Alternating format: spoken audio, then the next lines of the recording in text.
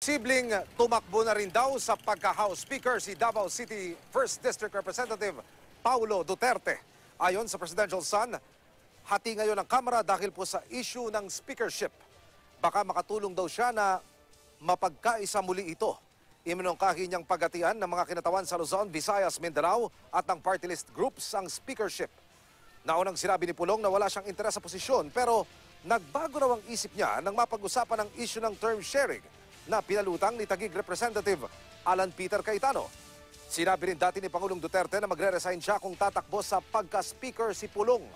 Ayon naman kay Presidential Spokesman Salvador Panelo, plano pa lang naman iyon at pwede pang magbago ng isip ang Pangulo.